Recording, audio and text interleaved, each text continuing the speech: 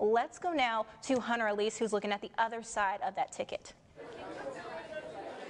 Michelle and Bodie, I'm here in Iron Cactus. People are starting to make their way in, a lot of anxious people. The excitement is really starting to build. And Jay Morris actually just walked in the door a couple minutes ago. He's here with me now.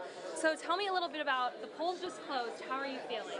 Well, we're encouraged. We feel like we left everything on the field and uh, we tried really hard, and now it's up to the voters of Senate District 35.